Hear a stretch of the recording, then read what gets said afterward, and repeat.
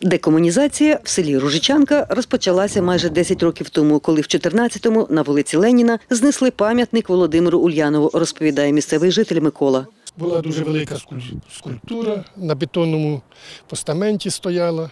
Чи мідь, чи бронза? Ні, напевно, бронза все-таки. Було трохи людей, ну, знімало комунальне підприємство. Не були проти, ніякого перешкод не чинили, коли знімали. Куди подівся мідний чи бронзовий Ленін, Микола каже, не знає. На утіль, мабуть. На постаментах, де колись в обов'язковому порядку в кожному населеному пункті стояв пам'ятник Леніну, уже давно стоять інші скульптури чи стели або ж розбиті квітники, як у селі Ружичанка Хмельницького району. За словами Миколи Макарова, потім в селі довго перейменовували вулиці, які підлягали декомунізації аж до позаминулого року. Було громадське слухання і давали пропозиції, ну, хто більше, які вулиці.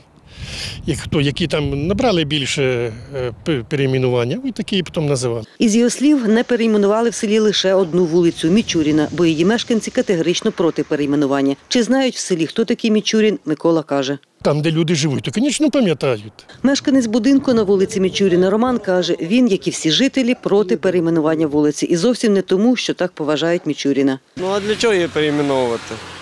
Це просто, як то кажуть, витягнути гроші купу з бюджету, щоб перейменувати вулицю тільки для того.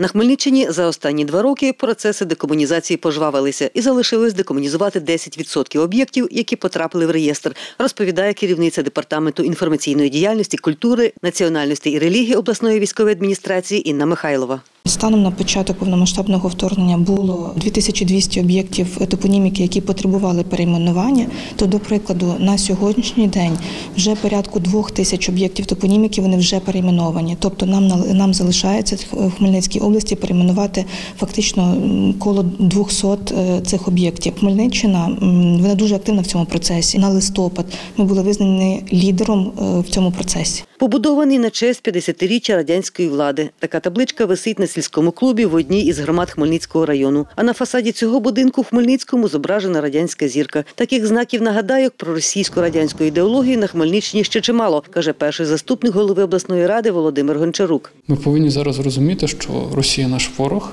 і ми повинні змінити цей процес. Тобто зірка з Кремлем це нормально? Чи державна політика в цій сфері адекватна чи неадекватна? Чи 24 лютого 2022 року заставлено задуматись над цим питанням, чи не заставлено задуматись? Чи те все, що є, це було нормально? Якщо воно було нормальним, то зараз це те саме росіяни роблять на окупованих територіях.